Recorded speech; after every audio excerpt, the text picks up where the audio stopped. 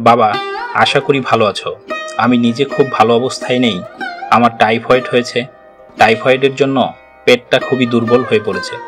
পুরো একটা সপ্তাহ ধরে শুধু চালের এক জঘন্য অরুচিকর জিনিস ছাড়া আর কিছুই খাইনি। বাংলায় যাকে সম্ভবত বলে যাও। বিছানায় পড়ে থেকেছি, শুধু যাও খেয়েছি। আর কল্পনায় ভেবেছি কবে সেরে উঠব, কবে সুস্বাদু খাবারগুলো খেতে পাবো। একটা সময় তো গলদা চিংড়ির জন্য মন ব্যাকুল হয়ে উঠেছিল। আর আমার মনে পড়ে গিয়েছিল অন্য কিছু। যখন মায়ের সঙ্গে তোমার ছাড়াছাড়ি হয়ে গেল, আমার ভীষণ কষ্ট হয়েছিল। কারণ আমার সবসময়ই মনে হতো সব কিছু ঠিকঠাক হয়ে যাবে। তুমি আবার আমাদের কাছে ফিরে আসবে।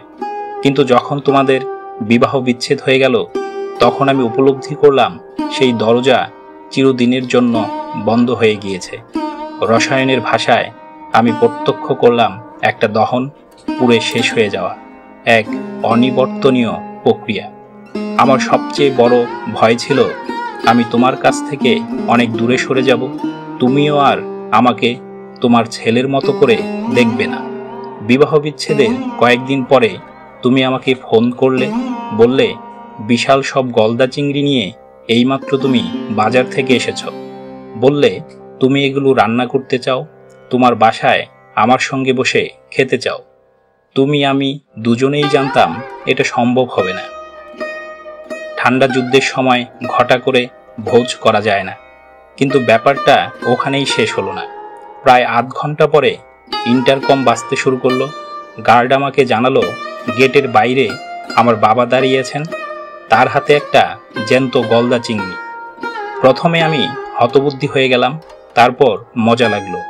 খানিক উত্তেজনা নিয়ে নিচে নেমে গেলাম। তুমি বললে, বাবা, আমি খুব চাচ্ছিলাম এটা আমরা একসঙ্গে খাই। কিন্তু সেটা তো এখন সম্ভব না।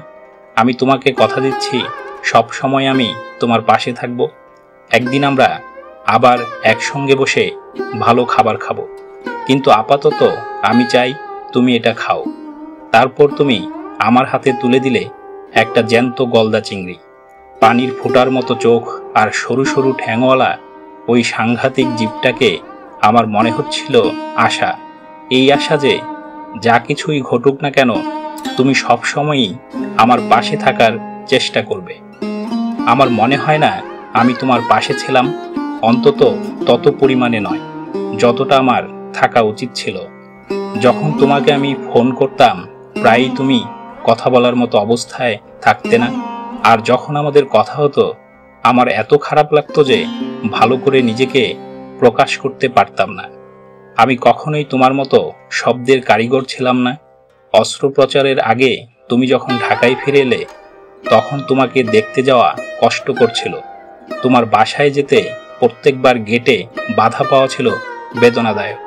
বাবার সঙ্গে দেখা করতে গিয়ে কোনো ছেলেরই প্রত্যেকবার নিরাপত্তা প্রহরীর প্রশ্নের উত্তর দেওয়ার কথা নয়। কিন্তু এগুলো কোনো অজুহাতি নয়। তোমার কাছে আমার আরও বেশি বেশি যাওয়া উচিত ছিল। আমি চাই সব কিছু বদলে যাক। আমি তোমাকে জানাতে চাই। আমি তোমাকে অসম্ভব মিস করি। তুমি যেন আমি যতটা তোমাকে আমার পাশে পেতে চাই, ততটা পাই না বলে আমার ভেতরটা এখনও পোড়ায়।